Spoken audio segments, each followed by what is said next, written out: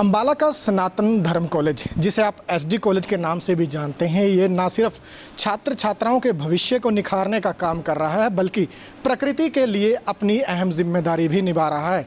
College की तरफ़ से लगातार ऐसे कई प्रोजेक्ट्स चलाए जाते हैं, जिनकी सराहना ना सिर्फ़ जिला, ना सिर्फ़ हरियाणा, बल्कि देश भर में की जाती है।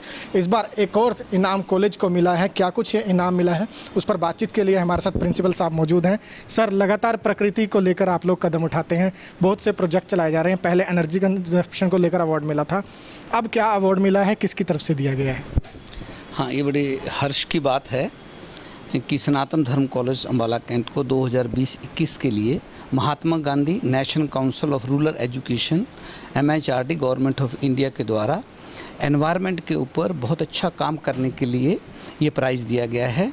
हमारे कॉलेज के अंदर स्वच्छता एक्शन प्लान बनाया गया था जिसके अंदर हमने एनवायरनमेंट एम्बेसडर के नाम से कुछ वॉल्टियर्स एनरोल किए थे। इसके अंदर specially NCC, NSS, youth red cross environment awareness club women cell के जितने भी प्रोग्राम ऑफिसर्स हैं और स्टूडेंट्स हैं उनको हमने ग्रीन एम्बेसडर के नाम से इन इसके अंदर हमने बच्चों को शपथ दिलाई थी। पूरा साल हमने पाँच एस्पेक्ट के ऊपर काम किया है।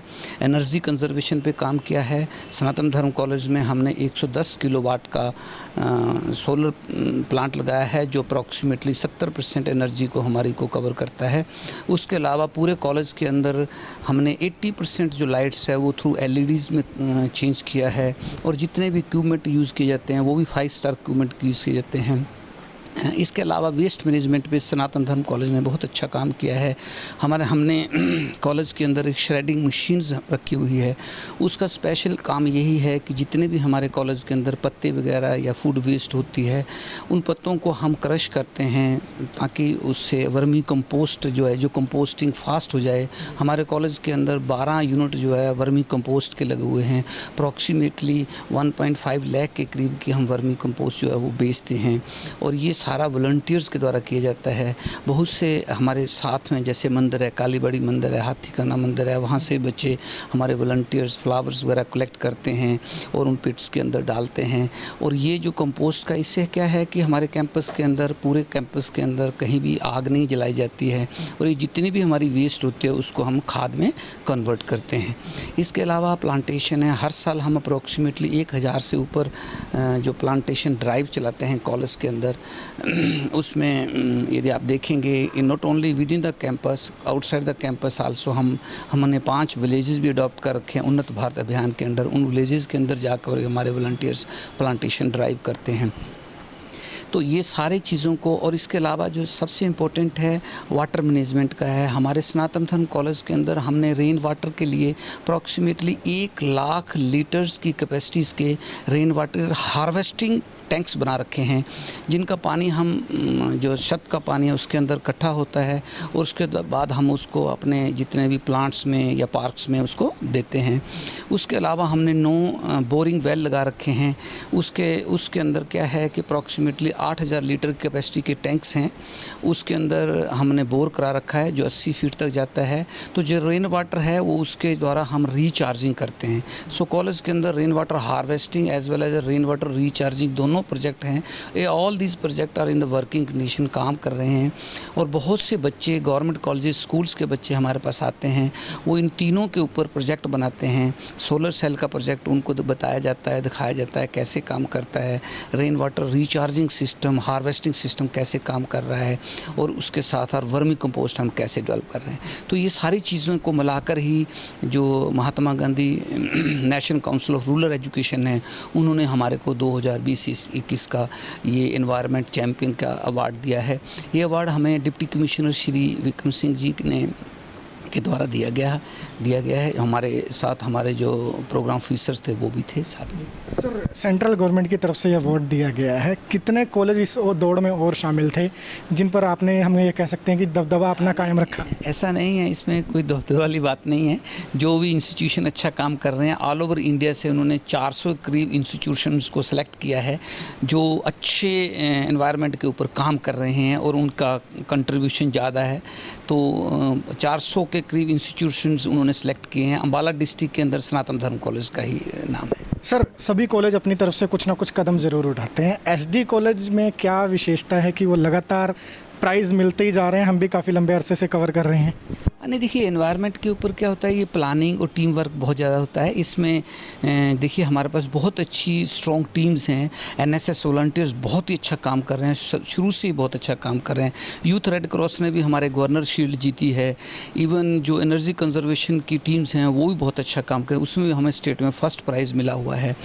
तो एनसीसी के वॉल्टियर हमारे कैडेट्स बहुत अच्छे कैडेट्स है। यूथ रेड क्रॉस के कैडेट्स है। वुमेन सेल तो हमारी जो ये जो एक्स्ट्रा करिकुलर एक्टिविटीज़ है पर्सनलिटी डेवलपमेंट्स है बच्चों की, इसी के थ्रू सारी होती है। तो जो एनवायरनमेंट तो हमारी लाइफ का एक पार्ट होना चाहिए। तो कॉलेज का तो एनवायरनमेंट एजुकेशन इंस्टीट्यूशन का एनवायरनमेंट तो इतना अच्छा और हेल्दी होना चाहिए। उसका इम्पैक्ट उस बच्चे की सारी ज़िंदगी उसके ऊपर होना चाहिए। तो मैं ये सोचता हूँ कि हमारी जो टीम्स हैं टीम वर्क जो है, वो बहुत ही अच्छा है। और इंस्टीट्यूशन की बजाय हमारे यहाँ पर टीम वर्क बहुत अच्छा है। सर डेवलपमेंट के लिए कहीं ना कहीं हम ये कह सकते हैं कि प्रकृति को काफ़ी नुकसान पहुँच रहा है।